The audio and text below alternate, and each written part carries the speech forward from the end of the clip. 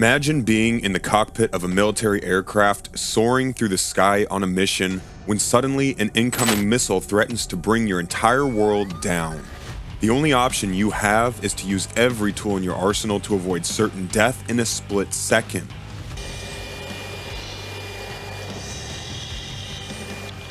You deploy a flare, diverting the missile with a bright flash of light and intense heat, and your aircraft remains miraculously unscathed. This is the power of flares, a tiny pyrotechnic life-saving device that protects aircraft from danger in the skies.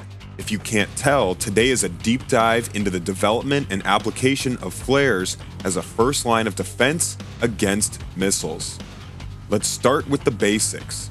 Military aircraft flares are small pyrotechnic devices that emit bright light and a lot of heat when they are activated.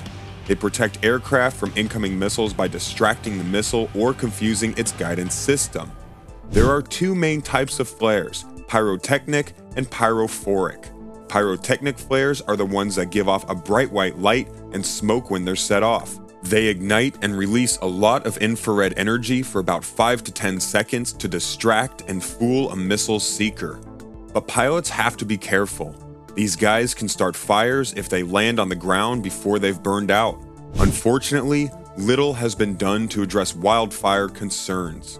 That is something to be improved sooner than later, as natural resources are diminishing from the increased risk of fast spreading fires worldwide. In comparison to pyrotechnic flares, pyrophoric flares are more low key.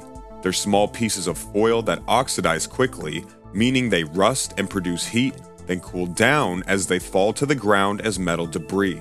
The widely used MJU-27AB flares operate in this manner. Heat-seeking missiles are designed to target an aircraft's infrared radiation emissions, and that's where these ingenious flares come in.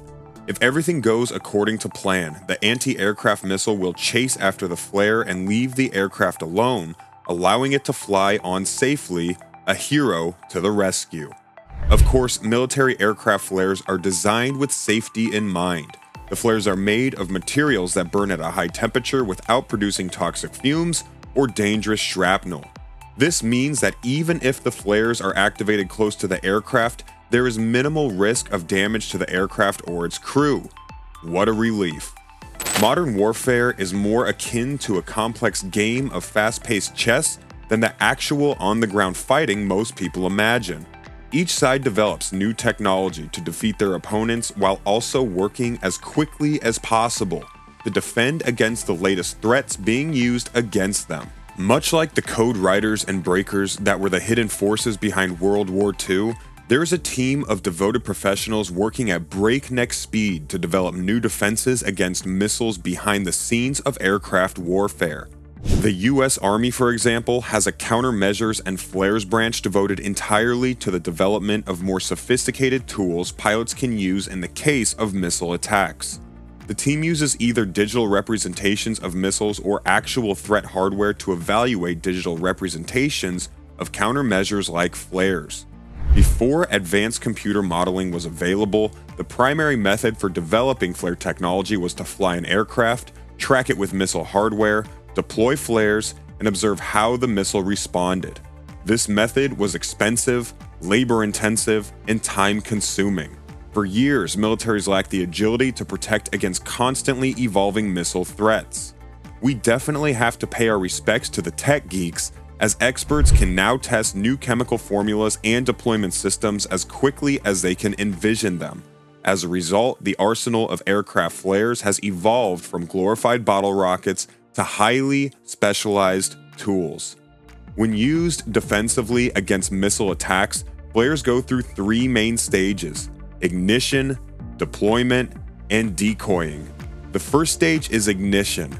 Pyrotechnic flares like the MJU 32 need to be lit from the outside, which is safer because if something goes wrong in storage, it won't cause a fire on board. On the other hand, when exposed to air, pyrophoric flares like the MJU 27AB ignite on their own. That's a convenient feature.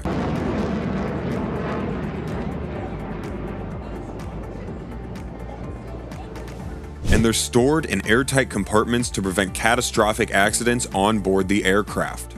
Next is deployment.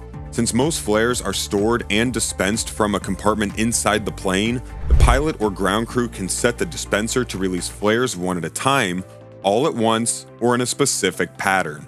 Pyrotechnic flares require a lanyard attached to a cap, which is pulled off automatically as the flares drop from the dispenser. When the cap comes off, it rubs against the flare, just like striking a match to ignite it. Last stage, decoying, aka how flares work to trick incoming IR or infrared homing missiles. These are also commonly known as heat seeking missiles. IR guided missiles can be sneaky when it comes to attacking aircrafts. They don't give off any detectable radar signals and usually approach from behind, aim straight at the engines. Pilots often rely on their wingmen to look for the missile's smoke trail and give them a heads up. And for those with more advanced equipment, some systems can detect a missile launch by picking up the heat signature from the missile's rocket motor. Flares burn at seriously high temperatures, like thousands of degrees, and that's a lot hotter than a typical jet engine's exhaust. So when an IR missile comes along, it thinks the hotter flame is actually the aircraft's afterburner or the beginning of the engine's exhaust source. But here's the rub. Newer IR missiles have been designed to match the emissions of airplanes more closely so they can reject other sources. So, in response to that, the latest generation of flares have also been optimized to match the radiation of the aircraft, mainly its engines and exhaust. But these missiles can also discriminate based on the trajectory of the source and its size. Welcome to the world of counter countermeasures. See what we mean about the chess game? The latest version of the FIM 92 Stinger missile has a dual IR and UV seeker head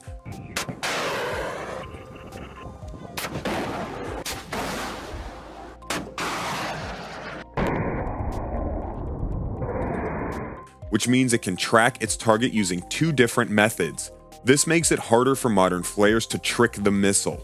Even though researchers have been able to create flares with an IR signature that's on the same wavelength as a hot engine exhaust, they still produce a different UV signature than an aircraft engine burning kerosene. There's still some work to be done in this field. Aircraft flares are often discussed with another line of defense called chaff. Not all missiles are heat seeking, some, called radar guided missiles, follow their target based on radar position. Deploying pyrophoric flares won't work against these missiles as they don't respond to heat. To defend against radar guided missiles, a different countermeasure is needed. Meet chaff, a countermeasure used since the Second World War. Chaff is used on most modern military aircrafts and other targets like warships to protect against radar guided missiles. Chaff is made up of tiny, thin bits of aluminum, metallic glass fiber, or plastic. Like flares, it can be deployed on command and appears in the air as a cloud of small targets to incoming missiles. Because both airplanes and missiles are made of metal, they tend to have a radar signature that allows enemies to locate their position with a reasonable degree of accuracy. Most radar guided missiles find their targets this way, but when you introduce chaff, the missile's guidance system can become confused by the increase in the radar signature. Thanks, tiny metal bits. As a result, the missile will hopefully hit one of those small new targets instead of the plane. Chaff and flares are just some tools of many that keep military aircraft safe from missiles in combat. But in modern warfare, where civilians are often casualties of combat, some experts are considering expanding the use of flare technology. In 2019, FedEx filed a request with the FAA to install an infrared laser system on some of its aircraft to defend against heat seeking missiles. Without explicit guidelines to address the possibility, the FAA initially responded to the request by opening the issue to public comment, but quickly withdrew that decision, citing the need for further internal study. It wasn't the first time a non military aviation company wanted to use missile countermeasures. In 2002, Israeli airline El Al was the target of a failed missile attack during takeoff in Mombasa, Kenya. By 2004, the airline began installing anti missile systems called Flight Guard on its planes that flew routes over hostile areas. The reaction to El Al's new tech wasn't very positive. Many European airports banned the aircraft from landing there, forcing El Al to rethink its approach. The Israeli Airlines planes are now equipped with C-MUSIC, a pod located on the aircraft's lower fuselage that includes an electro optical missile warning system, jamming turret, and laser generator. While no other international airlines have followed El Al's lead, there are still plenty of supporters of adding this tech to civilian planes. Man Portable Air Defense Systems, or MANPADS, have fallen into the hands of dozens of non state groups worldwide. The heat seeking surface to air missiles just take 6 to 10 seconds from launch to impact, are easily transportable, and can be used with little training. These units have hit about 60 commercial airplanes since the 1960s, killing over a thousand people. Fans of El Al's proactive approach to defend against missiles say that this safety net should be standard on every aircraft. But opponents cite the increased weight, impact on aerodynamics, and maintenance expenses as downsides the flying public shouldn't have to put up with or pay for. With missile counter countermeasures advancing every day and the growing threat from global terrorist groups in recent years, we may live to see the day when every commercial aircraft is equipped with an anti missile system. Until then, we'll leave the flares to the military and admire them in Hollywood action movies.